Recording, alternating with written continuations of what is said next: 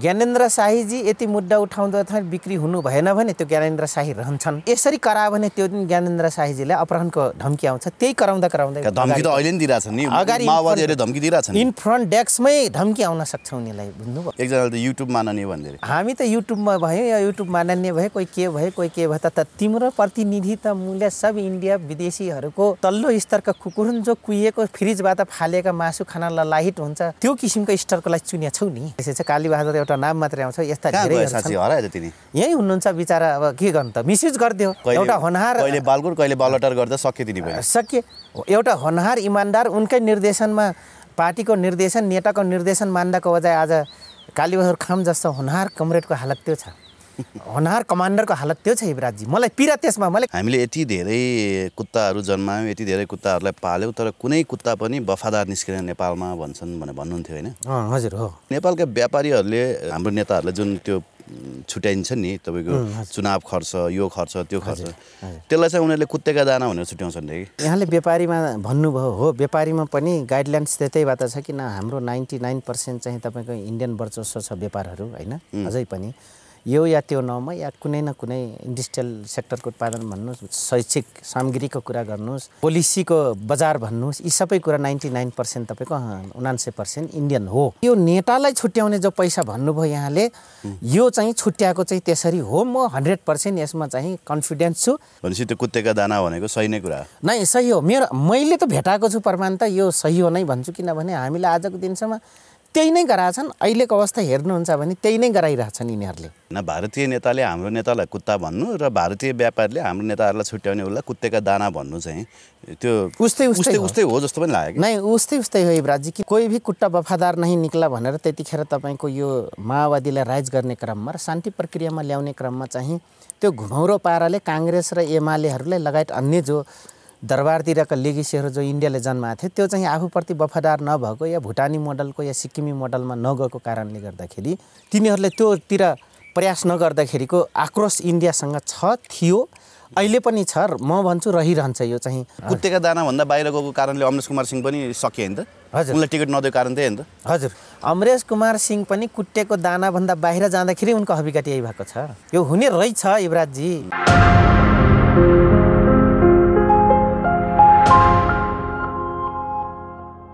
लानुराम चौधरीजी हाम्रो फ्रेममा हुनुहुन्छ। लानु सर यसलाई हार्दिक स्वागत छ नमस्कार धन्यवाद हजुर आराम हुनुहुन्छ लानु सर? आरामै छ हजुर तपाईँलाई कस्तो लागिरहेछ ज्ञानेन्द्र साई नै चाहिँ एउटा जङ्गबहादुर रहेछन् यो संसदमा जस्तो देखियो कि अहिले। अरू कोही छैनन् क्या? असली मर्दै हेर्नुहोस् त।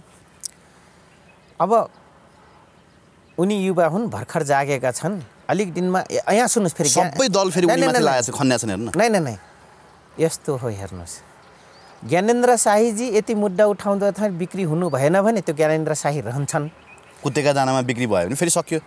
कुट्टेको दाना त रापर्वाको भइसक्नु भएको छ अब रापर्वाले अ, लिङ्गडेनजीले कता अब यो मेरो भाइ हो भनेर चिनाएर त्यसलाई कुट्टेको दाना दिलाउनमा कहाँसम्म उहाँको भूमि भूमिका रहन्छ हेर्नुहोस् है। त्यसपछि गएर यो यो यसरी करायो भने त्यो दिन ज्ञानेन्द्र शाहीजीले अपहरणको धम्की आउँछ त्यही कराउँदा कराउँदै धम्की त अहिले नि दिइरहेछन् नि? अगाडि इन फ्रन्ट डेस्कमै धम्की आउन सक्छ उनीलाई बुझ्नुभयो? तर मैले भन्न खोजेँ त एकजना युट्युब माननीय भन्दै अरे हजुर। एकजनाले त युट्युब माननीय भन्दै अरे ठिक छ युट्युब मान्ने होला नि। मलाई पनि युट्युबे माओवादी भन्छन् कमेन्ट्स लेख्छन्।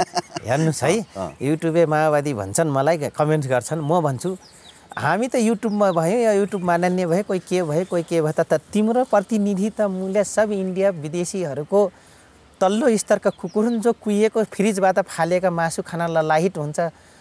त्यो किसिमको स्तरको लागि चुनिया छौ नि। तिनलाई राजा मानेको छौ तिनलाई देउता मानेको देउटा मानेको छौ नि जो लानु चौधरीले गु पुछेर फालिदिएछ त्यो ढुङ्गाहरू हुर्याइदिएछ जो यिनले पुज्दैछन् देउटा मानेर। म त त्यो दिन हुर्याइदिएको छु बरु यो भूमिलाई मातृभूमिलाई यो जमिनलाई बरु मैले माता मानेको छु। त्यसैले त म तपाईँको ढ- धम्काएर कसैसँग एक रुपियाँ लिन जान्न बरु तपाईँहरूसँग सङ्गी साथीहरूसँग बरु म हजार रुपियाँ लिएर सापट लिएर हजारौँ दसौँ हजार सापट लिएर ऋण धन खोजेर बरु गइरहेको छु। नत्र भने फेरि कालीबहादुर खाम कमरेडको नाम लिनुपर्ने हुन्छ उहाँले गरेकै त्यसै छ। कालीबहादुर एउटा नाम मात्रै आउँछ यस्ता धेरै यहीँ हुनुहुन्छ बिचरा अब के गर्नु त? मिसयुज गरिदियो। एउटा होनहार बालकोट कहिले बालटर गर्दा सक्यो तिनी सके एउटा होनहार इमान्दार उनकै निर्देशनमा पार्टीको निर्देशन नेताको निर्देशन मान्दाको बजाय आज कालीबहादुर खाम जस्तो होनहार कमरेडको हालत त्यो छ। होनहार कमान्डरको हालत त्यो छ युवराजी मलाई पीडा त्यसमा मैले कालीबहादुर खामको पटक पटक नाउँ लिँदा कालीबहादुर खाम कमरेडले रिसायो होला नि यो थारू मेरै नाम देखा छ भन्नुहुन्छ होला। तर होइन मैले भन्न खोजेँ एउटा इमान्दार एउटा नीति निर्देशन पार्टीको उसमा हिँड्ने मान्छेलाई सबले यस्तै गराएका छन्। काङ्ग्रेसमा यही बनाएका छन् माओवादी केन्द्रमा यही बनाएका छन् एमालेमा यही बनाएका छन् अहिले एकीकृतमा पनि ऊ देख्दैछ। अब अर्को कुरो मलाई तर है फेरि युवराजी आज एउटा त्यो नाम मैले कन्फ्युजन भएँ यसको लागि माफी चाहँ उहाँ चाहिँ एकीकृत समाजवादीमा आबद्ध हुनुहुँदो रहेछ। सायद केन्द्रीय स्तरकै नेता हो सायद मलाई लाग्छ सचिवालय अन्तर्गत बस्नु भएको छ। उहाँको कुरा सुन्दा र उहाँको अनुहार हेर्दाखेरि। उहाँले एउटा कुरा आज मिडियामा उठाउनु भयो त्यो कुरा म भन्छु चाँडोभन्दा चाँडो त्यसलाई साइड लाउनुपर्छ सरकारले। जसले भूतपूर्व राष्ट्रपतिको नाममा भूतपूर्व ठुलो अफसरको नाममा जो हामीले राष्ट्र सेवक र भरण पोषण जो दिँदैछौँ यो राष्ट्रले ढान्न सक्दैन यो हुनु हुँदैन। किनभने जुन समयमा आफूले बहाल हुन्छ त्यो समयमा त लिउँ त राज्यले दिएको कुराहरू। त्यो त राज्यले पनि जनताले पनि उसले पाउनुपर्छ सार्मिक परिसार्मिक भन्छन् सुविधा पाउनुपर्छ भन्छन्। देन आफ्टर रिटायर यिनै ईश्वर पोखरेलहरू हुन् पूर्व तपाईँको पूर्व सांसदहरूलाई समेत तपाईँको पेन्सन दिने जुन ऐन बनाएका थिए शेरबहादुर देउबाले त्यसलाई चाहिँ कटौती गर्दाखेरि धुरु धुरु रुने यिनै ईश्वर पोखरेलहरू हुन्। मलाई भरत जङ्गमजीले भन्नुभएको छ मलाई मलाई। फोन गरेर ईश्वर पोखरेल पोखरेलजीले यति गुनासो गर्नुभयो। हामीले जिन्दगीभरि राजनीति गऱ्यौँ तपाईँहरूले हामीले बनाएको एउटा ऐन पेन्सनको ऐन समेत खारेज गरिदिनु भयो भनेर फोन गरेर धुरु धुरु रोयो अरे यिले पाए त पेन्सन पनि लिन्छन् भने सरकारी जागिरभन्दा कडा सुविधा यिनीहरूलाई। नै कडा सुविधा अस्ति तपाईँको ऊ अमरेश कुमार सिंहजीले त्यो विधिमा तपाईँ झगडा परेको भाइरल त्यो गर्नुभयो कुत्तेका दानाभन्दा बाहिर गएको कारणले अमरेश कुमार सिंह पनि सकिए नि त। हजुर। उनलाई टिकट नदिएको कारण त्यही हो नि त। हजुर। उनले के के- उनले के भनेका थियो भने सीमित व्यापारीको हातमा देशको अर्थतन्त्र गयो। हजुर। सबै पैसा विदेश लगिसक्यो भनेर उनले संसदमा बोलेका थिए। हजुर। त्यस पछाडि नेपाली काङ्ग्रेसले उनलाई डाउन गरिदियो। हजुर। पार्टी छोड्नु पर्यो। हजुर। डाक्टर अमरेश कुमार सिंहको। एकदमै। तर उनले स्वतन्त्र भएर जितेका छन्। होइन एउटा के हो भने आफ्नो व्यक्तिगत इमेज बनाएको कारणले गर्दा स्वतन्त्र भएर उनले टिके होइन? अघि आयो कुरा हो अमरेश कुमार सिंह पनि कुट्टेको दानाभन्दा बाहिर जाँदाखेरि उनको हविगत यही भएको छ। यो हुने रहेछ युवराजजी ठिक छ लानुजी। अब फेरि यो बढी धेरै के भन्छ धेरै उदिन्न थाल्यो भने कङ्कालहरू। धेरै निस्किन्छ यहाँ सुन्नुहोस् न। अब कङ्कालहरू धेरै निस्किन थाल्यो एउटा कमेन्ट्सकारले के लेख्नु भयो भने तपाईँकै तपाईँकै हिस्ट्रिकली हामीले कुरा गर्दाखेरि तपाईँकै मिडियामा जुन विगत अघिल्लो एपिसोडमा जो कुरा गऱ्यौँ अशोक राजा त्यो त अलिक घोषणा नै थियो नि त फेरि त्यसमा के भन्यो भने होइन यो लाहानु चौधरीजी कृषि गर्नलाई चाहिँ यो कटाक्ष गर्दाखेरि क्रिटिसाइज गर्दा चाहिँ कुन कुन मिडियाले टलप दिँदो रहेछन् यसो उहाँको टलपको बारेमा पनि बुझ्न पाए हुन्थ्यो भनेर कमेन्ट्स लेखेको छ युवराजी यहाँले कमेन्ट्स हेर्नु भएको छ किन मैले होइन। तर म उहाँ कमेन्ट्सकारलाई भन्छु तपाईँले मित्र तपाईँका कुट्टाहरूलाई कुट्टेको दानाको हिसाब किताब माग्न चाहिँ आँट गर्नु भएन एकचोटि आँट गर्नुहोस् त कति झापर खानुहुन्छ तपाईँका ती नलायक कुट्टाहरू जसलाई जिताउनु भएको छ जो कुट्टेको दाना खाएर नेपालमा ठुलो राष्ट्रवाद र ठुलो वामपन्थी प्रजातन्त्रवादीको जो कुरा गरिराख्नु भएको छ जो ठुलो आफूलाई पढे लेखेका र विद्वान मित्र सम्झिँदै हुनुहुन्छ उहाँहरूमाथि एकचोटि प्रश्न चिन्ह गर्नु जसरी लाहनु चौधरीको कमेन्ट्समा लेख्नुभयो। ल हिम्मत गर्नुहोस् त एकचोटि मित्र। यदि सच्चा नेपाली हो भने त। त्यही पनि यो भारतको काममा धेरै के भन्छ यो नेक्ससभित्र धेरै छिर्न खोज्यो भने सरोजराज अधिकारी झुन्ड्या झुन्डे भए होइन। हजुर। अब बलराम बानिया बगे बगे भए? हजुर, हजुर। त्यस कारण फेरि हामीलाई आफूलाई त अझै केही समय छ होइन। नै नै एउटा हो यो यहाँले जो नगरम भन्नुभयो होइन तर म त्यो स्थितिमा पुगिसकेको छु यहीँ बसेर त्यो तपाईँको सरोजराज अधिकारीले सरोजराज अधिकारीले नेपालका अधिकांश व्यापारी धना के भन्छ व्यापारिक घराना धनाढ्यहरूमा चाहिँ भारतीय माफियाहरूको लगानी छ भन्ने कुराको ब्लग बनाउँदै हुनुहुन्थ्यो। उहाँ अचानक सुसाइड गरेको भेटिनु भयो अब त्यसको इन्भेस्टिगेसन के भयो भएन खोइ समाचारमा कतै पनि आउँदैन। कति खोज्ने होइन? अब हामीले त यस्तो छ युवराजजी यहाँ घरभित्र जब त्यस्तो कुरा लेख्दा लेख्दै उहाँको घर या उहाँको रिलेटिभभित्र उहाँको साथी सङ्गीभित्र त्यो नेक्ससको पर्सन छ र उनी नजिक भएर इन्फर्मेसन पनि लिँदैछन् त्यसलाई उजागर गर्दैछन् भने सरोजराज अधिकारी बन्न सक्छन्। तर म म चाहिँ त्यो अलिक फरक छु। म अलिक फरक छु युवराजजी म अझै भनिदिन्छु। होइन तपाईँ त हतियार उठाएर आएको हो डराउनुहुन्न। त्यो- मात्रै। भङ्गेरो बनाइदिनु भङ्गेरो ढाले चाहिँ हालिदिन्छ नै त्यो मात्रै होइन। त्यो भन्नुभयो त्यो मात्र होइन युवराजी म त्यो सञ्जालभित्र छु। इन्डिया इन्डियामा आगो लाउन र चाइनामा आगो लाउन ठुलो कुरा छैन नि युवराजजी। हामी त्यो न्याक त्यो पोइन्टलाई समात्छौँ क्या त्यो नेक्सस अन्डरमा हामी पनि काम गरिरहेछौँ भरि कुरा गऱ्यो भने। किन भन्दा मेरो भनाइ यति हो इन्डिया हाम्रा ठुला छिमेकी राष्ट्र हुन्। हामी उहाँहरूको सबै कुरा सम्मान गर्छौँ। हामी सानो हुनुको कारणले उहाँले माया गर्ने सम्मान उहाँले पनि गर्नुपर्छ। हामी पनि ठुलो सम्मान गर्छौँ सबै छिमेकीहरूलाई।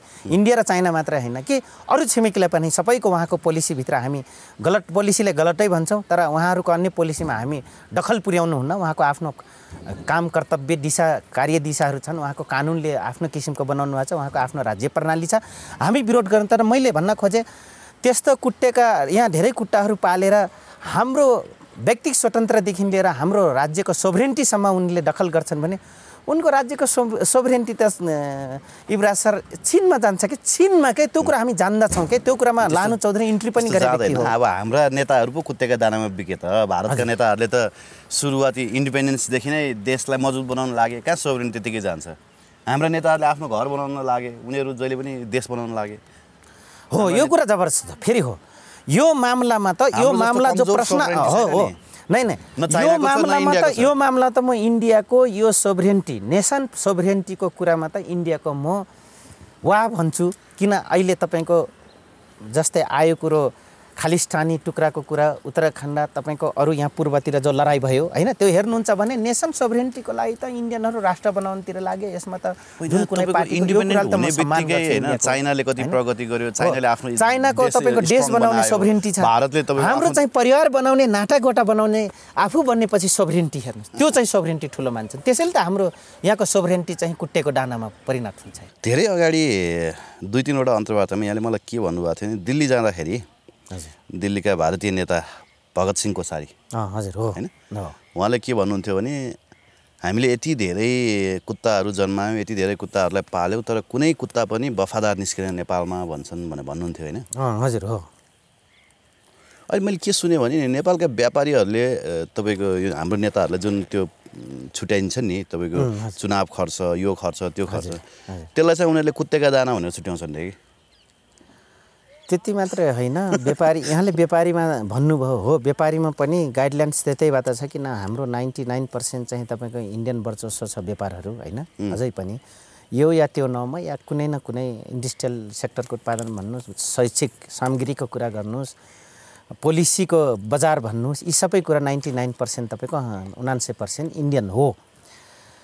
अब उनीहरूले हो यो सबै कुरा छुट्याउने क्रममा गलतै प्रसङ्ग र गलत नेट बस छुट्याइन्छ भन्ने कुरा त व्यापारी पनि गलत नियत होइन भारतीय नेताले हाम्रो नेतालाई कुत्ता भन्नु र भारतीय व्यापारीले हाम्रो नेताहरूलाई छुट्याउने उसलाई कुत्तेका दाना भन्नु चाहिँ त्यो उस्तै उस्तै उस्तै हो। जस्तो पनि लाग्यो नै उस्तै उस्तै हो युवराजी किन भन्दाखेरि कोही भी कुट्टा वफादार नहीं निक्ला भनेर त्यतिखेर तपाईँको यो माओवादीलाई राइज गर्ने क्रममा र शान्ति प्रक्रियामा ल्याउने क्रममा चाहिँ त्यो घुमौरो पाराले काङ्ग्रेस र एमालेहरूलाई लगायत अन्य जो दरबारतिरका लेगेसीहरू जो इन्डियाले जन्माएको थियो त्यो चाहिँ आफूप्रति वफादार नभएको या भुटानी मोडलको या सिक्किमी मोडलमा नगएको कारणले गर्दाखेरि तिनीहरूले त्योतिर प्रयास नगर्दाखेरिको आक्रोश इन्डियासँग छ थियो।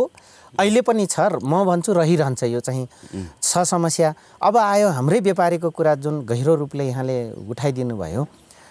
अब युवराजजी तपाईँ हामीले यदि हेऱ्यौँ भने हाम्रो यहाँको टप वान व्यापारी सब इन्डिया त इन्डियन नसल इन्डियनबाट र इन्डियनैको दाना पानी र उतैको पैसा चलाउने अनि यहाँको पैसा खेलाउनको लागि नेबिल ब्याङ्कदेखि लिएर विभिन्न यावत किसिमको तपाईँको ब्याङ्क अफ काठमाडौँदेखि लिएर होइन जोटीको हालत त्यो देखिरहेछौँ एनआइसी यावत जो छ अहिले विकास ब्याङ्कहरू क ख के अरे श्रेणीका चार्टर स्ट्यान्डर्ड ब्याङ्कहरू यिनीहरू जन्माएर पछिल्लो कालमा तपाईँको त्यसलाई व्यापारीलाई व्यापारी पैसा सिधै त्यसरी नल्याइकन त्यहाँ मार्फत यसरी लगानी गर्ने यहाँको पैसा पनि रिकलेक्सन गर्ने र राज्यलाई घुमाउरो पाराले दोहन गर्ने तर फिडब्याकको जस्तो देखिने व्यापार फस्ताको जस्तै देखिने उनले उनको ब्याङ्कबाट लोन लिनुहुन्छ र उनले भने मुताबिक व्यापार गर्नुहुन्छ भने सबै फस्ताउने नेपालीहरू पनि। यो चाहिँ भएको हो र यो नेतालाई छुट्याउने जो पैसा भन्नुभयो यहाँले यो चाहिँ छुट्याएको चाहिँ त्यसरी हो। म हन्ड्रेड पर्सेन्ट यसमा चाहिँ कन्फिडेन्स छु। यसको उदाहरणहरू कोही माग्छ भने त्यो प्रसङ्ग आउला आज हामी तपाईँ हामीले यो विषयमा प्रसङ्ग कुरा गर्दैछौँ भने त्यो प्रसङ्ग आउला चाहिँ मलाई लाग्छ। भनेपछि त्यो कुत्तेका दाना भनेको सही नै कुरा हो। नै सही हो। मेरो मैले त भेटाएको छु प्रमाण त यो सही हो नै भन्छु किनभने हामीले आजको दिनसम्म त्यही नै गराएछन्। अहिलेको अवस्था हेर्नुहुन्छ भने त्यही नै गराइरहेछन् यिनीहरूले। त्यसरी नै हेरिरहेछन्। हेर्नुहोस्। अधिकांश नेपालको बजार चाहिँ तपाईँको भारतीयहरूले नै कब्जा गरेका छन् होइन त? भारतीय मूलका व्यापारीहरूले नै। भारतीय मूलको जस्तै म तपाईँलाई अलिअलि कुरा गर्छु जुटी ग्रुपहरू चेम्बर्स कमर्सहरू यिनीहरू जो नेपाली अ, नेपाली उहरू छन् नेपाली तपाईँको अध्यक्ष सदस्य या त्यहाँ समितिहरू छ तिनीहरूको त्यति साह्रो त्यति साह्रो मैले यहाँ वर्चस्व देख्दिनँ। हेर्नुहोस् है। अनि यति मात्रै होइन मैले पछिल्लो कालमा गाडी गाडीको कुरामा धेरै नै मैले नेटमा सर्च गरेँ र टक गर्दाखेरि अधिकांश व्यापारीहरू चाहिँ तपाईँको इन्डियासँग डिपेन्ड भेट्यो क्या। नेपाली व्यापारी पनि गाडीको मामला इन्डियासँग चाहे त्यो चाइनिज गाडी आओस् कोरियन गाडी आओस् जापानिज गाडी आओस् या युरोपको कुनै स्ट्यान्डर्डको गाडी आओस् या कुनै भर्जनको गाडी यहाँ सप्लाई गर्नुहोस्। इन्डियन व्यापारी र इन्डियन सरकारसँग जबसम्म त्यो नाकाको रूपमा सहजीकरण या उसँग केही कुरा कमिटमेन्ट गर्नुहुन्न भने उसले इन्ट्री नै नदिने एउटा सामान्यतया पाठ पूर्जामा बोर्डरमा घपला गर्ने समेत। भनेपछि इन् इन्डियाको आशीर्वाद बिना कुनै पनि व्यापारी नेपालमा फस्टाउन सक्दैन यो सक्दैन रहेछ जुन बेला हामी जनयुद्धमा लाग्दाखेरि या वामपन्थी राजनीति गर्दाखेरि युवराजजी निकै ठुलो विस्तारवाद साम्राज्यवाद के के पुँजीवाद दलालवाद जुन यावत हामीले आरोप लगायौँ तर आज फेरि जसले आरोप लगाउन लगाइयो जो नेता बने प्रधानमन्त्री बने र देश चलाए उनीहरूमा पनि त्योभन्दा खतरनाक किसिमले यिनै हामी गाली गरेको विषयको दलालीहरू बढी देख्यौँ र त्यो इन्डियनले ठाडो हस्तक्षेप गरेको देख्यौँ। जबकि दरबार हुँदाखेरि त्यति साह्रो हस्तक्षेप गरेको देखिँदैन थियो पछिल्लो कालमा दुई हजार अडचालिस पछि दुई हजार बाहन्न छप्पन्न सन्ताउन्नसम्मको हेऱ्यौँ भने काङ्ग्रेसले सिधै बोलायो काङ्ग्रेसले सिधा बोलायो भन्थ्यौँ हामीले। त्योभन्दा खतरनाक किसिमले अब चाहिँ इन्डिया हेर्नुहोस् खुलेआम तपाईँको हस्तक्षेप जस्तै अब पछिल्लो कालमा चाइनाहरूको चाइनिजहरूको खुलेआम हस्तक्षेपहरू देखिन्छ हेर्नुहोस्। चाइनाले अलिकति लिन थाल्यो कि तपाईँको इन्डियन बाट प्रसाय बोकेका भनौँ न। इन्डियनको काठमा चढ्नेहरूको त हेर्नुहोस् एकछिनमै कलेजो जल्न छाल थालिहाल्दो रहेछ हेर्नुहोस्। अनि चाइनिजहरू पनि त यहाँ खुलेआम तपाईँको इलिगल धन्दा गरेर बसिरहेको रहेछन् है? हजुर। हेर्नुभयो नि तपाईँले।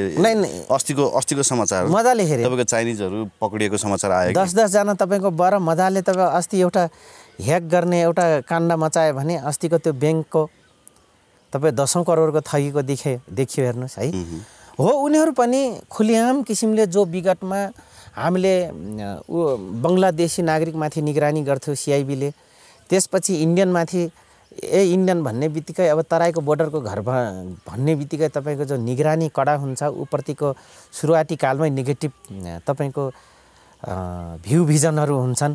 हो यस कारणले पनि अहिले चाइनिजमा पनि ठ्याक्कै त्यो किसिमको देखियो हेर्नुहोस् है नेपालमा। र गर्न आउँदो रहेछन् नेटवर्क गर्नै आउँदो रहेछन् त्यो चाहिँ किनभने उनलाई पनि के थाहा छ भने इन्डियामा के अरे सरी नेपालमा इन्डियन नागरिक आएर अधिकांश यही गर्छन्। हामीले यो गरिदियो भने इन्डियनमाथि खनिहाल्छन् हामी थाहा पाउँदैन भन्ने एउटा चाइनिजहरूको पनि यो देखिन्छ। तर यो मलाई लाग्छ युवराजजी जस्तै युपीदेखि उताको इन्डियनमा यो नेगेटिभ नेपालप्रतिको भ्यू देखिँदैन भने गन्जाओदेखि उताको अडबा तिब्बतका नागरिकको आधा जति तिब्बत नागरिकको यो प्रतिको फेरि नेगेटिभ देखिँदैन है। त्यो के अरे चाइनिजहरू देखिँदैन है। त्यसरी भ्यू भिजन। यो त बोर्डर लाइनको बढी गर्ने हुने हेर्नुहोस्। यो जे जति हुन् त बोर्डर लाइन र बोर्डर लाइनको मान्छे अझै तपाईँको गोन्जाओ गए हङकङमा गएर व्यापार गरे होइन? चाइनिजको कुनै प्रान्त भनौँ क्यापिटलभित्र गएर तपाईँको गर्न थाल्यो भने स्टेटको तिनीहरू सिधै यहाँ आएर भिसा लिएर यो या त्यो बाहनामा दुनियाँ आफ्नो सरकारले देखाएर आएर तपाईँको गरेको हामी देख देखिरहेछौँ। तर यो एकदम न्यून हो भन्छौँ। इन्डियनको जो खुलेआम भन्दा यिनीहरू अझै खुलेआम आए त यिनीहरू जान्दै नजानिकन गरे। तर इन्डियनको त दिनदिनै हरेक पाइला पछि हुँदैछ त्यो चाहिँ अलि मिलाएर गर्छन्। पहिलाभन्दा अलि फरक किसिमले मिलाएर गर्छन् हेर्नुहोस्। र म एउटा छुट्नै नहुने विषयहरू अलिकति इन्डिया र चाइनाको यो नाङ्गो नाचको कुरा गर्दाखेरि अस्ति मैले देखेँ युवराजजी जब खालिस्तानको नेता खालिस्तान बनाइदिने पन्जाबलाई टुक्र्याउने जो नेता थिए तपाईँको पन्जाबी केटा त्यो केटा नेपालमा भागेर आयो भनेपछि तपाईँको यहाँ इन्डियन पुलिसहरू आर्मीहरू हामी यहाँ व्यापक देख्यौँ हेर्नुहोस् है। सिभिल ड्रेसदेखि लिएर व्यापक देख्यो ठुल्ठुला पुलिस नै काठमाडौँ- यहीँ आए? यहीँ आए तपाईँको धेरै त्यो बेला चाहिँ नाकाबाट धेरै गाडीहरू इन्ट्री भएका छन्। हेर्नुहोस् है। किनभने मेरो यहीँनिर धेरै बेरसम्म बसेर तपाईँको ड्रेसमै पुलिसहरू राति देख्यो नौ बजे राति यहीँनिर। तपाईँको युपी नै लेखेको थियो स्क्राइपो थियो। अनि त्यसमा एकजना अरू सिभिलमा थिए एकजना चाहिँ ड्रेस सुत्दै हुनुहुन्थ्यो। यहाँ धेरै बेर बसे हामी यहाँ हेराहेर पनि गऱ्यौँ निकै बेर उनीहरू गन्ठन मन्ठन फोन सोन गरे। त्यो बेला अब मलाई त थाहा थियो कि त्यो ने त्यो नेता यहाँ छिरेर आएछ। हो त्यो मौका छोपेर चाइनिजहरूले अस्तिको त्यो घटनाको एक्सपोज भयो हेर्नुहोस् है। ठ्याक्कै इन्डियनहरूको यहाँ बढी इन्ट्री भयो।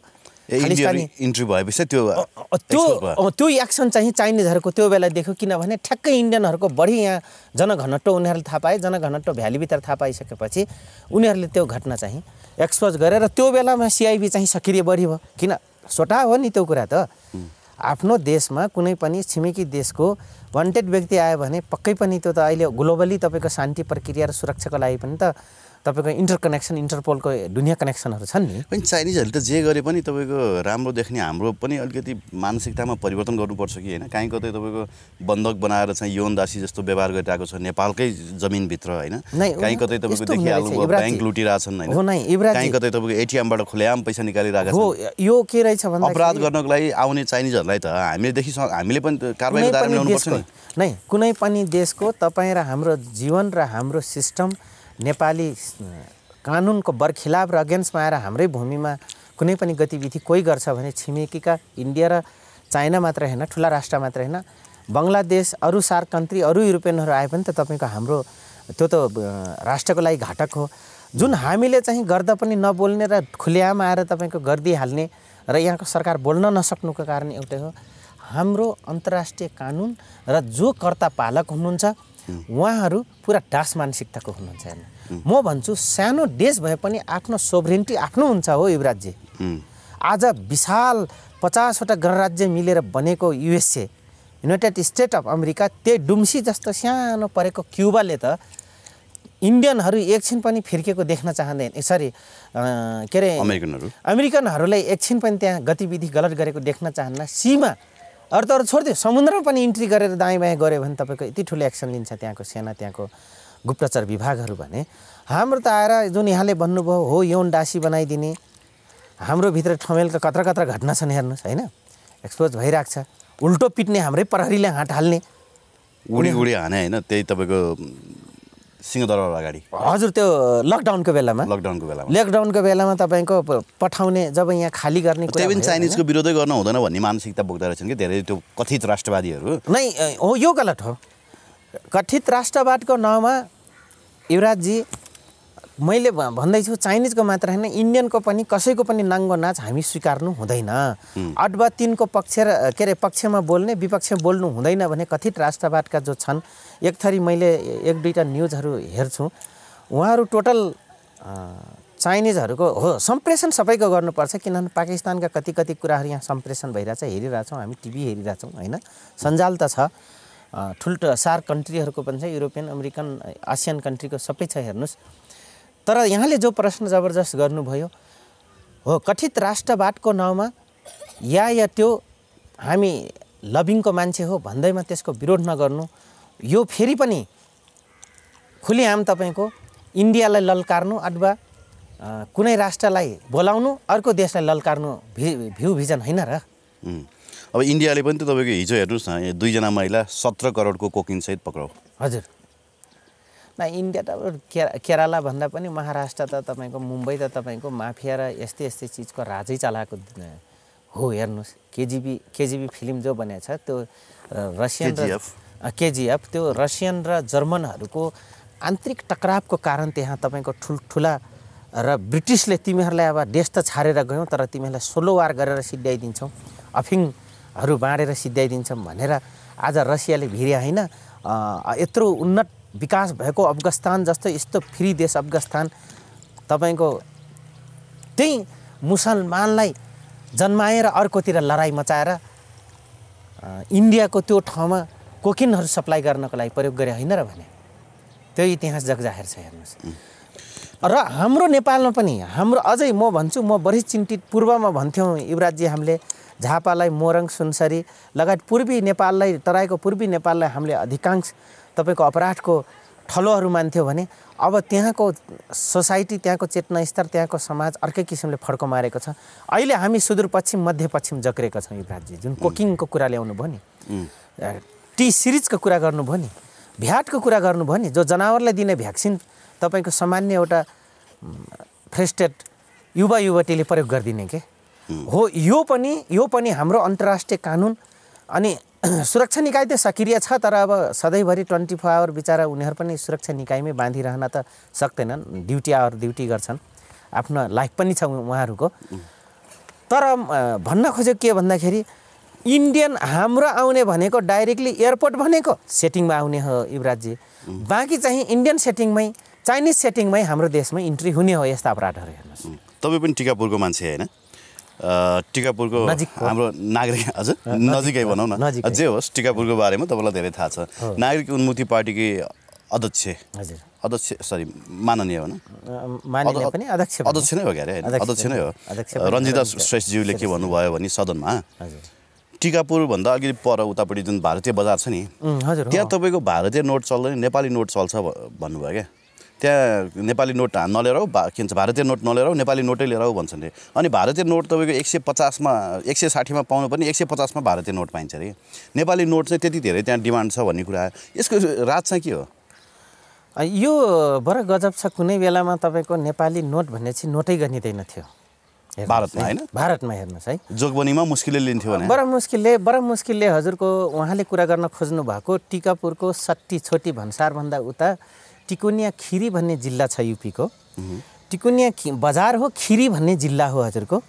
त्यहाँ नेपाली नोट यस कारणले चल्छ त्यहाँ किन भन्दाखेरि तपाईँको त्यो अहिलेदेखि होइन इन्डियाको अधिकांश बोर्डरमा यहाँको प्राय जसो तपाईँको पहिला भारतीय नोट चल्थ्यो भारतीय बाहेक चल्दै चल्दैन थियो नेपाली नोट। मलाई जहाँसम्म याद छ युवराजी दुई हजार चालिस उन्चालिस सालतिर पनि अब नेपाली नोट चल्यो भारतीय नोट विस्थापित हुन लाग्यो भन्थे बुवाहरूले होइन? अब अहिले चाहिँ नेपाली नोट त्यहाँ किन चल्यो? राज के हो भन्नुभयो? यो राजहरू के हो भन्नुभयो भन्दाखेरि अहिले नेपालको नोटभन्दा ठुलो नोट दुई हजारको नोट इन्डियाले चलाएको छ हो। अब केही दिनमा बन्द हुनेवाला छ। यो अलिकति सामान्य रूपमा बुझ्ने गर्नुहोस्। आर्थिक कारोबार अधिक गर्नेहरू र globally economic status standard power चाहिँ हामीले बुझ्नुपर्ने रहेछ। एउटा त इन्डियामा ठुलो जनसङ्ख्या र ठुलो भारी मात्रामा अर्थतन्त्र भइसकेपछि सय नोट बोरामा बोक्नुभन्दा दुई हजारको नोट एउटा खल्टीमा बोके पुग्ने हिसाबले राज्यले त्यो किसिमले बनायो यो पोजिटिभ हो। उसको अर्थतन्त्रको डिमान्ड र उसको अर्थतन्त्रको सहजीकरणको एउटा मापदण्ड हो। अब हामी यो बुझौँ अहिले नेपाली पैसा चर्को हुनुको कारण दुईवटा हुनसक्छ है फेरि। एउटा पोजिटिभ एउटा नेगेटिभ राज्य पोजिटिभ के हो भन्दाखेरि अहिले नेपालको नेपालको नोटभन्दा इन्डियन नोट धेरै सस्तो भएको कारण धेरै नोट छापियो र एउटा कुरा के हो भने नोट ठुला नोट किन छापिन्छन्? जुन देशको अर्थतन्त्र दयनीय रूपमा त्यसलाई डाउनफलमा गइरहेको हुन्छ फलिङ डाउन भइसकेपछि त्यहाँको सरकारले नोट ठुलो अङ्कमा छाप्न जान्छ हेर्नुहोस्। है एक। अर्को कुरो मैले अघि भनिसकेँ त्यो हो। अब अहिले नेपाली नोट भन्दा इन्डियन नोट छ्यास छ्यासी तपाईँको एक एउटा भारू हाम्रो यहाँ त बन्द गरिदियो पाँच रुपियाँभन्दा तल त पैसै छैन हेर्नुहोस् है। त्योभन्दा मुनिको त हाम्रो सरकारले छापेकै छैन। छापेको पनि चलिरहेछ तर छाप्ने क्रम सुरुवात बन्द गरेको छ। तर त्यहाँ पचास पैसा भारूदेखि लिएर एक रुपियाँको कोइन्सदेखि लिएर सबै छ दुई हजार नोटसम्म छ। र त्यहाँ नेपाली नोट महँगो हुनुको कारण एउटै हो सायद यहाँको अर्थतन्त्र थाहा छ उनलाई डाउन हुँदैछ भनेर।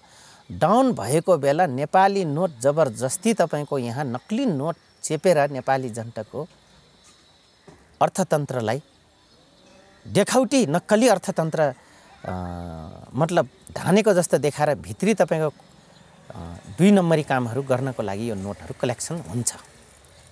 किन पहिला पनि कहिले उनीहरूले नेपाली नोट कलेक्सन अब किन गरिरहेछन् त भारतीय व्यापारले? किनभने भारतमा नेपालको नोट चल्दैन। भारतीय हुन्छ भारतीय बैङ्कहरूले होइन भारतीय बैङ्कहरूले नेपाली नोट सट सटै गर्दैनन्। त्यो पैसा नेपालै ल्याउनुपर्छ। तर भारतको सीमामा होइन नेपाली नोट होल्ड गरेर राख्नु भनेको त यो त ठुलो षड्यन्त्र जस्तो भएन। नै षड्यन्त्र षड्यन्त्र शङ्का गर्नु स्वाभाविक हो युवराजजी। तर एउटा कुरा है फेरि बोर्डरमा नेपालतिर धेरै भारू हुनु इन्डियातिर धेरै नेपाली नोट हुनुमा फेरि शङ्का गर्नु स्वाभाविक हो। राज्यले निगरानी गर्नुपर्छ आफ्नो करेन्सीको होइन। अङ्ग छ एउटा त्यसको निकाय छ वा दिपवाज गर्ने एउटा समिति छ उसको आफ्नै किसिमको क्रियाकलाप कामहरू कारबाहीहरू छन्। तर अहिले के छ भन्दाखेरि युवराजजी त्यो टिकुनिया आसपास भनौँ यही छेउछाउ जति हामी बोर्डरमा छौँ पाँच किलोमिटरको दुरीमा त्यो नोटहरू महँगाइ हुन्छ। पाँच किलोमिटर पछि दुरीमा गइसकेपछि हजुरको त्यो नोट भ्यालुलेस भइहाल्छ। र त्यहाँ एक सय पचास रुपियाँमा किन लिन- लिन लाछन् भन्दाखेरि अहिले उनीहरू हामीलाई दिँदाखेरि एक सय पैँसठीमा दिन्छन्। हामीले त अब परसम्म इन्डिया जाँदाखेरि त तपाईँको भारू सटाही गरेर जानुपर्छ। त्यस बेला उनीहरू चाहिँ एक सय पैँसठी रुपियाँमा दिन्छन् त्यो इन्डिया जाने मान्छेलाई। तर यताबाट चाहिँ एक सय पचासमा लिएर जान्छन्। घाटा खाए जस्तो देखिन्छ। उनले उताबाट टान्छन् एक सौ सत्तरीमा दिन्छन्। ल एक सौ सत्तरीमा लिने भएले नलिने भए अब बिचरा ऊ त पोको पुन्टरो कसेर गेटमा छ हेर्नुहोस् है। अब चाहिँ ऊ गाडी चढ्नु पर्यो। नोट नभेटाइकन ऊ त्यता जाने कुरा भएन। खर्च नलिकन। हो त्यो हिसाबले गर्दाखेरि युवराजजी एउटा नोट सतहीमा चाहिँ बोर्डरमा रिजर्भ गर्छन् र महँगाइ र घ घाटामा नोटहरू अप टु डाउन हुन्छ। हामी हामी कहाँको अधिकांश त्यही छ घटनाहरू। सुरु कुरो के भने नि अघि जुन मैले उठाएँ नि हजुर। कुत्तेका दाना। हजुर। नेपालका जो पनि नेता छन् नि हजुर। यदि तिनीहरू कुत्तेका दानामा चित्त बुझाए अडिक भए र जुन हिजो बरामद गर्यो नि यो कोकिन सोकिन सुन। बरामद गरेको उसमा। अथवा यो जुन नेक्सस छ यो नेक्ससको जालोमा आफ्नो टाङ अड्काएनन् भने उनीहरू टिके हजुर नत्र भए उनीहरू चिरञ्जीवी वाग्ले। बहादुर खड्का हजुर हजुर अ, तपाईँको के अरे गोविन्दराज जोशी जोशी त्यसपछि गएर वामदेव गौतमै पनि भन्न सकिन्छ होइन? जसले भाग खोज्छ नि कुत्तेका दानाभन्दा बेसी भाग जसले खोज्छ तिनीहरूको राजनीति सकियो। सक्यो। कुत्तेका दानामा चित्त बुझाउनेहरू चाहिँ को चाहिँ राजनीति? ठिक छ। ठिक छ। यो हो कुरो। चुरो कुरो यसमध्येमा म पनि झन्नै झन्नै झन्नै झन्नै म नफसेको व्यक्ति हो युवराजजी। तपाईँले पाउनु भएन कुत्तेका दाना? नै म म मतलब त्यही कुट्टेको दानामा रहोस् भन्ने चाहना राखेको थिएँ। तर मैले भाग खोजेको भने मैले लिइनँ स्वतः। किन भन्दाखेरि त्यो कुट्टेको दानामा गइसकेपछि खाइसकेपछि पोस्ट बढ्छ। राटाराट उदयमान हुन्छन्। रातभरिमा मन्त्री बन्छन् सांसद बन्छन् हेर्नुहोस्। आज जति पनि तपाईँको छ महिनामा उदयमान छन् वर्ष दिनमा उदयमान छन् पाँच छ वर्षमा उदयमान छन् र आज पार्लियामेन्टमा छन् भने या त ति तिनको कुट्टेको दानामा सेयर लिनेहरू छन् या त कुट्टेको दानामा चित्त बुझाउनेहरू छन् युवराजी जसले यो नेक्सस किनभने भारत र नेपालको बिचमा यो त भइरहेछ भन्नु नि तपाईँले हजुर यहाँ गर्ल्स ट्राफिकिङ ह्युमन ट्राफिकिङ। तपाईँको गोल्ड ट्राफिकिङ। होइन ड्रग्स ट्राफिकिङ हजुर यो त मेजर बिजनेस हो नि हो। माफियाहरूको। यो माफियाहरूमा तपाईँ कसरी टाङ अडायो भने उनीहरूले भारतको सरकारसँग पनि उनीहरूको यति धेरै क्लोज कनेक्सन छ कि उनीहरूले नेपालमा जे पनि गर्न सक्छन् भन्ने सुने कि युवराजजी हाम्रो उहाँ उताबाट सामान ल्याउँदाखेरि कस्टम तिरिसकेपछि फेरि बोर्डरमा सटाउँछन् तर के भन्छन् त्यहाँका सिआई के अरे एसएसबीहरू र त्यहाँको कस्टम अफिसरहरू? तपाईँहरूले हाम्रो सामान मर्ने बिसदेखि लिएर अमृत जडीबुटीसम्म किन्नुहुन्छ त्यस कारणले हामी बाँकी राख्छौँ तपाईँहरूले बोर्डरमा। अदरवाइज तपाईँहरू चाहिँ मिट्टीमा मिलाइदिन्छ भने धम्क्याउँछ नि युवराजजी म धम्काइ खाएको व्यक्ति हो बोर्डरमा हेर्नुहोस्। अब मान्नुहोस् मर्ने बिसदेखि बाँच्ने अमृतसम्म किन्नुहुन्छ तर अरे हामी तपाईँहरूले बोर्डरमा यति लुच गर्छौँ र तिमीहरूको सरकार र नेता जहिले पनि दिल्ली सरकारबाट वफादार हुनुको कारणले मात्रै हो भन्छन्। यो पनि भनेका छन् हेर्नुहोस्। नुनदेखि सुनसम्म सोटा त्यो त। त्यहीबाट आउनु पऱ्यो होइन? त्यही मात्र आउनु पऱ्यो यहाँ अहिले काठमाडौँमा नुन व्यापारीदेखि सुन व्यापारीसँग सबै इन्डियन। हजुर। होलसेलर इम्पोर्टर रिटेलर तपाईँको टोकरीवाला अब त्यसलाई के भन्ने? टोकरियर भन्नु पर्ला होइन? सबै तपाईँको इन्डियन छन्। यहाँ सुन्नु नेपालका चाहिँ सबै। लाइन लागेर खाडीमा। म यहाँलाई भन्छु म कुनै बेलामा मेरै यही टहराहरू बेच्ने क्रममा कबारीहरूसँग मेरो इन्टर रिलेटेड भयो। कबारी सङ्घ जो भनिन्छ टोकरी बोक्नेहरू भन्नुभयो यहाँले। अनि कवाडी होइन टोकरी बोक्ने कहाँ कवाडी हो र टोकरीमा त अहिले तरकारी बिक्छ माछा बिक्छ के बिक्दैन टोकरीमा? नै टोकरीमा त्यो सबै नेपालीलाई लाज हुन्छ त्यो टोकरी बोक्न। त नेपालीहरू त देश बेचेर नेताहरू ठुलो देश बेच्ने डोरी लाहुरे टोरी लाहुरे बन्ने इमान्दारहरू डोरी लाहुरे टोरी लाहुरे बन्ने हेर्नु अनि फेरि त्यही टोकरीवालाई ल्याएको खाने हाम्रो परम्परा। अब यहाँ आठ आठ करोड दस दस करोड एउटै कबारी सङ्घले अथवा एउटै कालीमाटीको बजारलाई चाहिँ त्यहाँको हाकिमलाई म इन्डियाबाट तिन रुपियाँमा परवल ल्याउँदैछु। हजुर मलाई नेपाली दस रुपियाँ दिनु पऱ्यो तपाईँले चाहिँ दस रुपियाँ त्यसको मिलाइदिनुहोस् भन्दा नेपाली गाडी राति गयो भने युवराजजी तरकारी गेटमा रोक्या हुन्छ। इन्डियन गाडीहरू बाह्र एक बजे पनि भित्र ठुल्ठुला गाडी हुलिएर तपाईँको अनलोड गरिरहन्छ तरकारी म खुद देख्ने व्यक्ति हो। ए बाबा त्यही इन्डियाको पोर्टबाट सुपारी काठमाडौँ इम्पोर्ट के भन्छ नेपाल इम्पोर्ट हुन्छ नेपालको भन्सारमा हजुर। अनि त्यहीँबाट फेरि इन्डिया एक्सपोर्ट हुन्छ। पाम ओइल त्यही हो। होइन पाम सिड्स अथवा पाम ओइल त्यही हो। हजुर। अधिकांश वस्तुहरू जुन नेपालले निर्यात गरिरहेछ भनेको छ त्यो त सबै तपाईँको त्यही इन्डियाकै बोर्डरबाट इन्डियाकै तपाईँको के अरे यो? बन्दरगाहबाट इम्पोर्ट हुन्छ। र फेरि त्यही इन्डियामै पठाइन्छ। हजुर। त्यहाँ त कुनै रोकतोक रोकतोक छैन। त्यसलाई त यसो नि यस्तो हो युवराजजी त्यो त तपाईँको इलिलिगल सामानलाई लिगलाइज गर्न नेपाल इन्ट्री गराउने नेपाली व्यापारी प्रयोग हुने फेरि नेपाली व्यापारीबाट इन्डियन व्यापारी नेपालमा कम्पनी खडा गर्यो सुपारी चाहिँ उत्पादन भएको देखायो उतै पठायो हेर्नुहोस् है। त्यस कारणले गर्दाखेरि यो त यो नेक्सस हो अघि भन्नुभयो यहाँले यो नेक्सस ब्रेक गर्ने मान्छे चिरञ्जीवी बनिहाल्छन् वामदेवजी बनिहाल्छन् होइन? अरू हुनुहुन्छ नेपाली कङ्ग्रेसका नेताहरू खुम्बाहरू खड्का बनिहाल्छन्। ऊ त तपाईँको चक्रप्रसाद बास्टोलालाई राष्ट्रवादी हो भनेर नेसनलिस्ट हो भनेर तपाईँको इन् इन्डिया बिचरा बुढो गए उपचार गर्न त्यहीँ डक्टरले स्विकाइदिइहाल्यो भनौँ न कोमामा पुर्याइदियो वास्तुलालाई? नै इन्डियन डक्टरले कोमा पुर्याए त हो नि नयाँ कुरा भन्नुभयो फेरि नै नयाँ होइन पुरानै हो यो बाजे चक्रवास्तोलालाई चक्रप्रसाद वास्तवले बिचरा त्यसै जेन्युन नेतालाई इन्डियाले पत्दैन नि जेन्युन नेता यहाँ त राष्ट्रवादी कुरा गर्नु पर्यो त्यो दलाल हुनु पर्यो वामपन्थी कुरा गर्नु पर्यो त्यो दलाल हुनु पर्यो अनि त्यो सिआइएको एजेन्ट हुनु पर्यो त्यो चाहिँ निकै प्रजातन्त्रवादी कुरा गर्नु पर्यो। त्यो युरोपियन युनियनको एजेन्सी हुन्छ त्यो निकै प्रजातन्त्रवादी कुरा गर्नु पर्यो समाजवादको कुरा गर्नु पर्यो। यहाँ त यो न छ बजार। राष्ट्रवादी यहाँ एक थरी राष्ट्रवादी कुरा जो गर्छ त्यो त रोडको त्यसलाई सोधाइ हुन्न। त्यो राष्ट्रवादको कुरा गर्ने पनि रोजगारी मात्रै होला क्या?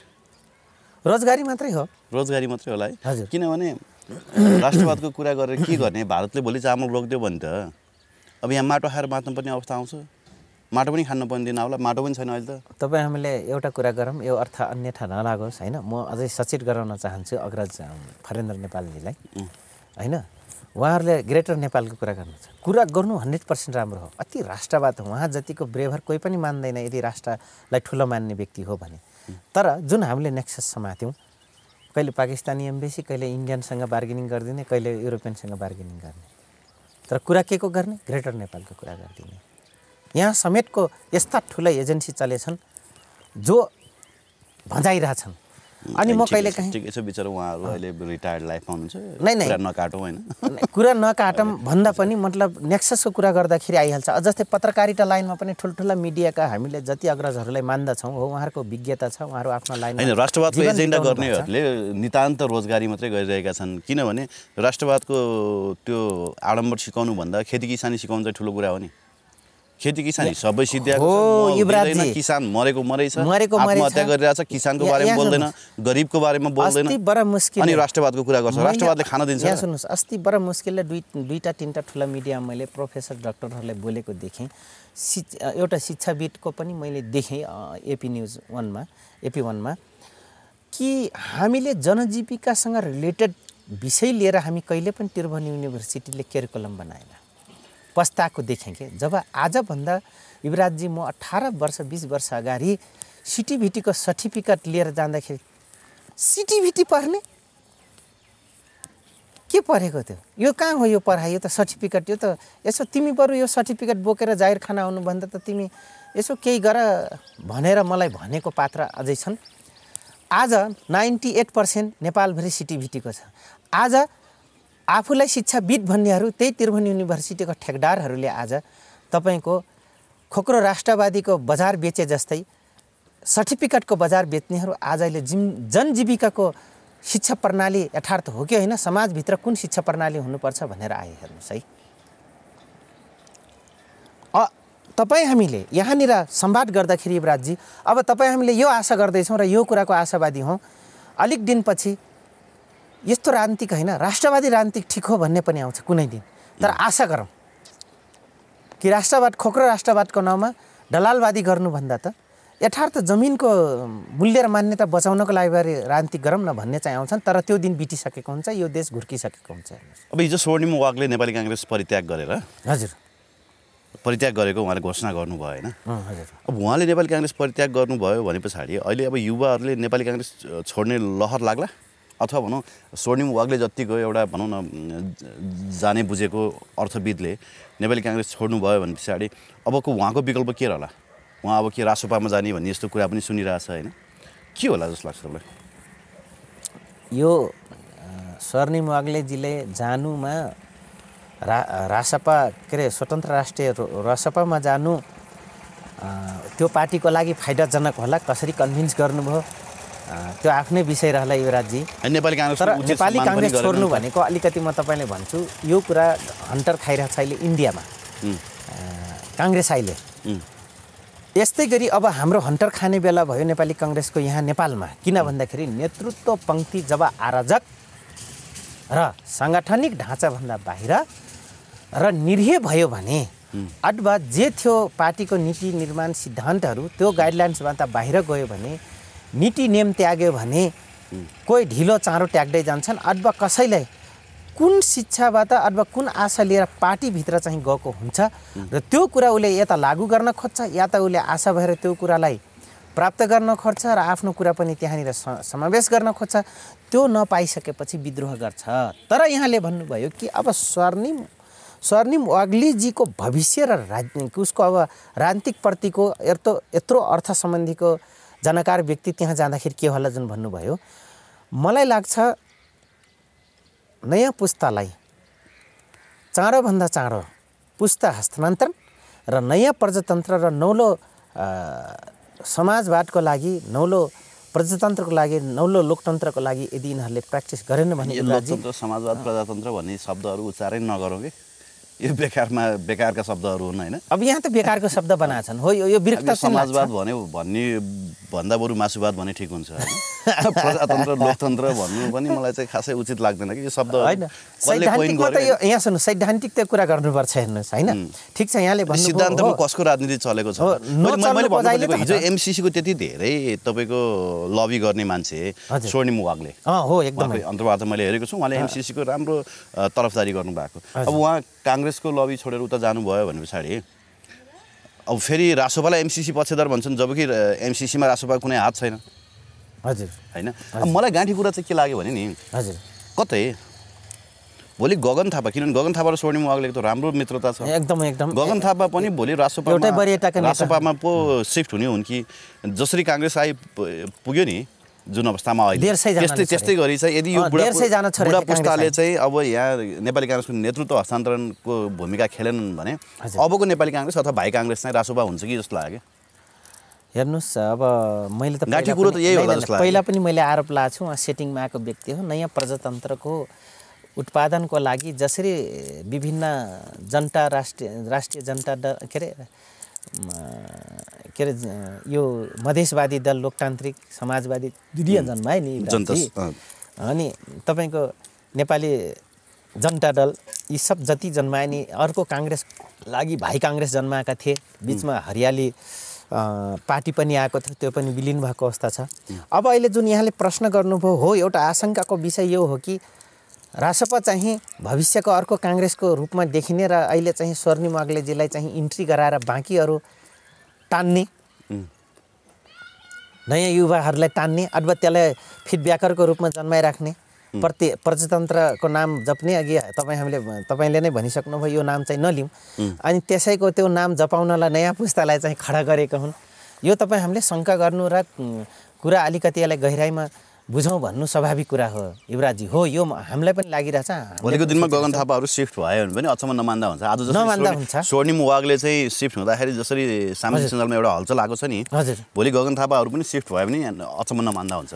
अब किनभने गगनले पनि एउटा यहाँ सुन्नुहोस् प्रदीप पौडेलजी गुरु घिमिरेजी जस्ता होइन भोलि नयाँ नयाँ पुस्ताका जल्दा बल्दा विद्यार्थीबाट उदयमान भएका उहाँहरू पनि भोलि सिफ्ट हुनुभयो भने अन्यथा नमान्दा हुन्छ। भनेपछि प्रदीप पौडेल विश्व विश्वप्रकाश। विश्वप्रकाशहरू पनि सिफ्ट भयो भने अचम्म नमान्दा हुन्छ। अचम्म नमान्दा हुन्छ। त्यो सेकेन्ड काङ्ग्रेसको रूपमा जन्माएको त्यो डिजाइनमा आएको पार्टी हो। तर पुरानालाई ठेगान लाउनको लागि नयाँ पुस्तालाई फेरि युवराजजी काहीँ न काहीँ कुनै कुनै रूपमा फिडब्याक दिनु जरुरी छ। म फेरि त्यो पक्षमा छु क्या। म अहिले यो प यताबाट आयो भन्दा पनि नयाँ पुस्तालाई कसरी उदयमान हुने र नयाँ पुस्तालाई how to hand over the new political situation yeah system भन्ने कुरा हो क्या? तपाईँले एउटा अन्तर्वार्तामा के भन्नुभएको छ भने प्रचण्ड अब चोक चोकमा कुटिन्छन् भन्नुभएको थियो। अब टाइटल मात्रै त्यो राखेको कि मैले कन्टेन्ट पुरा हेर्नु पनि पाइनँ होइन? हजुर हजुर। के के हो? साँच्चीकै प्रचण्ड चोक चोकमा कुटिन्छन्? अब त्यो दिन आएको हो। अब यहाँ सुन्नुहोस् मैले त पटक पटक भनेको छु अरू पनि भनिरहेछन्।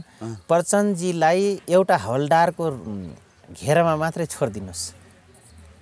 कुट्टिन्छन् पहिला सुरु त कुट्टिन्छन् तपाईँको आफ्नै पार्टीभित्रका जो अति पीडा पाएका छन् पार्टीको नाउँमा जसको सर्वस्व गुमेछ तर त्यो पार्टीमा मान्छे नै गनिएको छैन। ठाउँ पाएका छैन ठाउँ ठाउँ मात्रै पाएका छैनन् कि उनलाई त्यो पार्टीको सदस्य हो कि होइन जस्तै प्रसङ्ग उठाइदिन अस्ति एउटा चन्द्र माडेन भन्ने जन्टुले प्रश्न चिन्ह खडा गरेका थिए। जो व्यक्तिलाई म राम्ररी चिन्छु उनलाई चन्द्र माडेनजीलाई म भन्छु तपाईँ लाहनु चौधरीको विरुद्धमा आउनु छ भने तपाईँको मालिक यदि प्रचण्ड हुन् भने मिडिया र चौबाटोमा आइदिनुहोस् या ठुला मिडियामा आइदिनुहोस् र मलाई कलिङ गर्नुहोस्।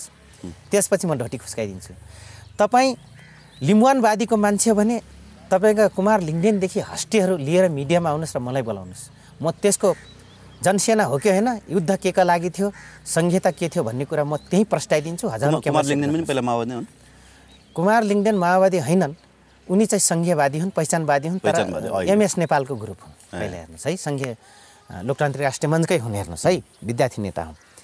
अब मैले भन्न खोजेँ यहाँ कस्तो छन् भने एक थरी यस्ता व्यक्ति छन् जसले तपाईँको ऊ एउटा नेताको ऊ अघि पाल्टु कुट्टा भन्नुभयो नि कुट्टाका भाग भनेर।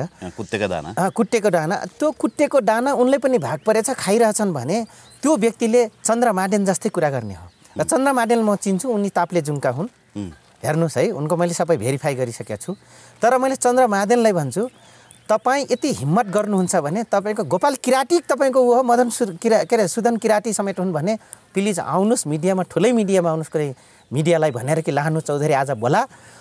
तर क्यामेरा अगाडिबाट नभाग्नु होला मित्र फेरि। मैले बात र लाट र जवाफ लाट हान्दाखेरि चाहिँ नभाग्नु होला म यो भन्छु मैले प्रसङ्ग किन जोडेँ भने युवराजजी? प्रचण्डसँग यो कुरा जोडियो। आज एक हवलदार लिएर मात्रै प्रचण्डजी हिँड्नु त। म अझै पनि भन्छु कि हिँड्नु। एकचोटि सुरक्षा व्यक्तिहरू घटाइदिए भनेपछि त्यो सुरक्षा घेराभन्दा बाहिर प्रचण्ड हिँड्यो भने उनी चोक चोकमा कुटिन्छन् मजाले। भन्न खोजेको यही नै मजाले। मजाले। उनको शहीद परिवार मतलब उतातिरको शहीद परिवार जनता र प्रहरी सेनाको शहीद परिवार भन्दा पनि प्रचण्ड आफ्नै भित्रका शहीद परिवार र पार्टीभित्रबाट कुट्टिन्छन् हेर्नुहोस्। पार्टीभित्रैबाट? हो। त्यो दिन आउँछ त्यसो भए। त त्यही नकुट्टिनको लागि त पहिला डस पार्टीमा हिँडे नि त उनले। होइन तर सुन्नु न मैले अस्ति धेरैवटा अन्तर्वार्तामा यो उठाइसकेँ। क्या हजुर। हिजो लिटेल है तामिल विद्रोहीहरूलाई दबाउँदाखेरि नि हजुर। राज्य सत्ता चाहिँ राजापाक्सीहरूको हातमा थियो। हजुर। बन्दुक राजापाक्सीहरूको हातमा थियो। हजुर। उनीहरूले सोच्थे कि हामी बन्दुकको नालमा अथवा बन्दुकको आडमा चाहिँ जसलाई पनि दबाउन सक्छौँ भन्ने सोच्थे। तर जब जनता जागे नि। त्यो सुरक्षा घेराले त केही पनि गर्न सकेन नि उनीहरूलाई देश छोडेर भाग्नु पऱ्यो नि। यहाँ पनि त्यो दिन कहिले आउँछ क्या? त्यो कुरा दिन चाहिँ म कुरिरहेको छु आउँदैछ। त्यो त्यो तपाईँ मात्र होइन युवराजी म पनि त्यसै विषयको र त्यही अवस्थाको म सिचुएसनमा वेट एन्ड सीमा छु हेर्नुहोस्। दिन आउँछ। नेपालमा? त्यो दिन आउँछ। किनभने ठुला ठुला आफूलाई अर्थशास्त्री भन्नेहरू पनि सहर्ष स्वीकारिसके कि साउनदेखि हामीले अन्तर्राष्ट्रिय डोनेसन भन्दा बाहेक कुनै विकल्प छैन। अहिले म तपाईँलाई भनौँ एउटा प्रसङ्गमा अहिले एउटा चाहिँ एउटा चलाएको छ। यो यो गऱ्यो भने फेरि नेपाल अलिक दिन टिक्छ। साउनमा हुने घटना वर्ष दिनपछि हुनसक्छ। के प्रसङ्ग म यहाँलाई भन्छु? अहिले ऋण उठाउने र तिर्ने बाँकी छ भने तुरुन्त तपाईँको विभिन्न उहरू टागाडा राज्यले गरिरहेछ कर्मचारीले गरिरहेछ। किन कर्मचारीले गरिरहेछ भने सय रुपियाँ पनि जनताले पानीको पैसा तिर्न गएर गएन भने पानी रोक्छ। किन रोक्छ भन्दाखेरि एउटा चुस्त दुरुस्त सिस्टम र प्रणाली व्यवस्थालाई चुस्त दुरुस्त बनाउनलाई यो आफ्नै ठाउँमा सकारात्मक पक्ष हो भने नकारात्मक पक्ष के हो भन्दाखेरि अब जनताले पैसा राजस्व तिरेन त कर्मचारी त कुर्सीमा बसी बसी खाएको बानी परेछ त्यसले त पाउँदैन युवराजी तलफै पाँच महिना आएपछि आजको दिन के खाउँ भने पाँच महिना तलफ कुर्छ कोही? कुर्दै कुर्दैन। त्यसका निम्ति पनि अहिले कर्मचारीहरू तपाईँको पैसा जनतासँग निकाल्नको लागि एकदम चुस्त दुरुस्त आफू हिँडिरहेछन्। यो घटना एउटा दुइटा घटनामा मैले भोगेँ। मैले पनि भगेँ है युवराजजी। घरबेटीको कुरा मैले पनि लिएँ हेर्नुहोस् है त्यो कुरा म माथि पनि बर्सिन पुग्यो तर के का लागि त मैले बुझेँ यसको लागि हो। र यो गर्नु जरुरी पनि छ।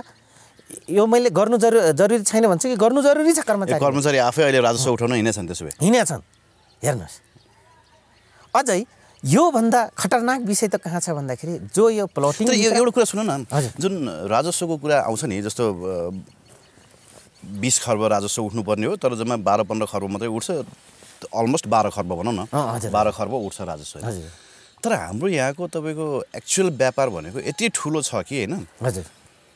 त्यो एक्चुअल डाटा नै तपाईँको सिस्टममा आउँदैन राज्यले त्यसको मोनिटरिङ गर्न पनि सक्दैन। किनभने त्यो कुत्तेका दानामा उनीहरू चित्त बुझाएका छन् कि? हजुर हो त्यो कुत्तेका दाना यदि नदिने हो भने त्यसमा उनीहरू औँला उठाउँछन्। जसले औँला उठाए उनीहरूलाई ठेगान लाइन्छ। र त्यो एक्चुअल जुन हाम्रो यहाँ उठ्नुपर्ने राजस्व हो त्यो कहिले पनि उठ्दैन। त्यो त डबल तेवर भन्दा बेसी उठ्नुपर्ने एउटा कुरा जिम्मा दियो भने बिस खर्ब राजस्व उठाउँछु भनेर छन्। ज्ञानेन्द्र साईले भनेका छन् तिस खर्ब उठ्नुपर्ने भनेर त। यहाँ यहाँ सुन्नुहोस् यहाँ सुन्नुहोस्। अब छ नि त सांसद ज्ञानेन्द्र साईले उठाउने पोलिसी र हिम्मत गरौँ न अब। उनी एक्लो त कराइरहेछन् नि एक्लो रहेछन् उनी मर्दै हेर्नुहोस् त। संसदमा प्रचण्डलाई चाहिँ के भन्छ थुर्र बनाउने उनी एक्लै छन्। यहाँ एक्लो बृहस्पति झुट्टा हुन्छ अर्को पोलिसी टोर मटोरका सेटिङ हुन्छ। ज्ञानेन्द्र शाही कराएर पनि हुनेवाला छैन। कुनै दिन हाम्रो सांसद पनि एक्लै कराएर बसेको थिए हेर्नुहोस् है। म यहाँलाई प्रसङ्ग कहाँ जोडेँ भन्दाखेरि यो जुन बिस खर्ब रुपियाँ उठ्नुमा दस बाह्र खर्ब मात्रै उठ्यो या करोडमा उठ्यो भन्ने जुन कुरा गर्नु भने युवराजजी एउटा दुइटा कारण छ। एउटा त नेपाली जनताले पे गर्न नसकेपछि राज्यले यति पर्सेन्ट न्यूनतम यति पर्सेन्ट मात्रै राजस्व तिरे चाहिँ विभिन्न राज्यका निकायमा सम्बन्धित भएका सङ्घ संस्थाहरू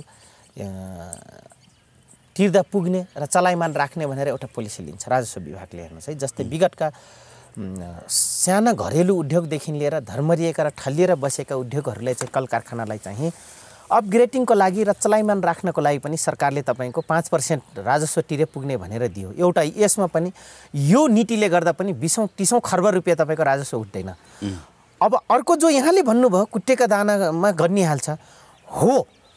एउटा त यो हन्ड्रेड पर्सेन्ट हो युवराजजी यसमा दुई मात्र हेन तिस चालिस खर्ब रुपियाँ उठ्नेमा जम्मा बिस खर्ब बाइस खर्ब उठेपछि तपाईँको चल्छ। म अस्ति एउटा एउटा बजार व्यवसाय महासङ्घको हो कि यही औद्योगिक क्षेत्रभित्रका अग्रज मित्रले के भन्नुभयो भने टेलिभिजनमा कि हेर्नुहोस् हामीले अस्ति मात्रै अस्ति मात्रै हामीले उहाँले भन्नुभएको छ इन्डियाबाट कति निर्यात भयो त भन्दाखेरि बयालिस करोडको त खान खाद्यमा एकै चिज भयो। तिन महिना बयालिस करोडको भएको छ अरे एउटै चिज भएको छ। अब उहाँले त्यही प्रसङ्गमा के भन्नुभयो भने फेरि? अनि त्यसपछि गएर यही समथिङ चालिस कि अडतिस करोड रुपियाँ चाहिँ हामी सूचना विभागले रोयल्टी नलिकन टिकटकबाट गयो भन्नुभयो। उहाँले सेरिज वाइज भन्नुभयो क्या नेपाली जनताले कहाँ कहाँ पे गर्छन्? अनि जे नेपाली जनता उँभो लाग्दैन यहाँको अर्थतन्त्र कसले ड्यामेज बनाउँछ कसरी ड्यामेज हुँदा हुन्छ भन्ने प्रसङ्गमा सञ्चार उद्योगलाई समेत उहाँले काउन्ट गर्दाखेरि टिकटकको कुरा फ्याट्ट निकाल्नु ठिकै छ सुन्नु न। यहाँ। एनसेल नै तपाईँको हो।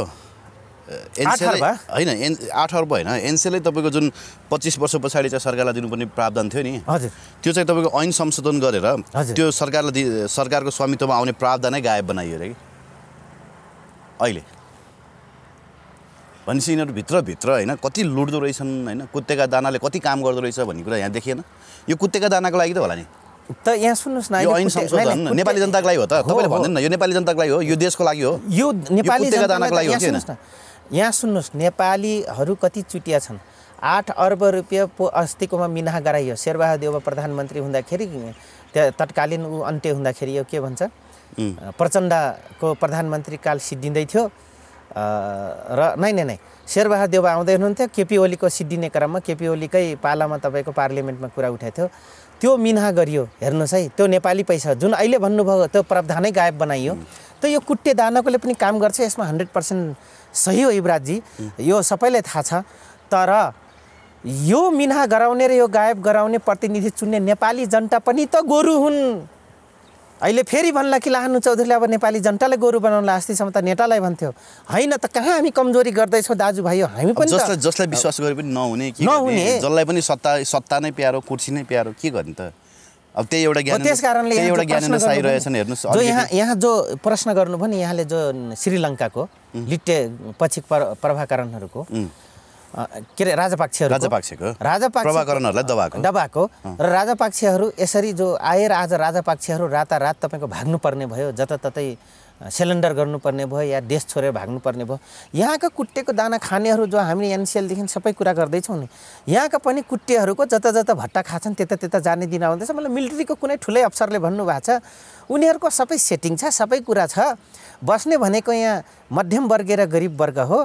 यहाँको धनाध्य जात होइन धर्म होइन त्यो भूगोल होइन सब सेटिङ सेटल भइसकेका छन्। त्यस कारणले गर्दाखेरि तिमी जति कराए पनि एक्लो बृहस्पति हो भनेछन् क्या मलाई यही प्रसङ्ग भन्नुभएको छ। एक्लै हो तर है त्यो बेला चाहिँ जुन यहाँले भन्नुभयो नि जनता जागेपछि राजापाक्षीहरूको त्यत्रो सुरक्षा निकाले पनि केही गर्न सकेन। त यहाँ पनि त्यो दिन आउँदैछ कुट्टा को कहाँ कहाँका पालिएका छन्? बरु म त भन्छु तपाईँहरूको कुट्टा चाँडोभन्दा चाँडो सुरक्षित राख्नुहोला। जुन जुन देशको कुत्ता हो त्यो सुरक्षित राख्नु होला अ- आफ्नो कुट्टा ढोकामा बाँध्ने कि घरभित्र राख्ने कि सोफामा लगेर सुटाउने कि सबभन्दा चाँडोभन्दा चाँडो तयारी रहनु होला थ्याङ्क यू भेरी मच लानु हस् नमस्कार धन्यवाद।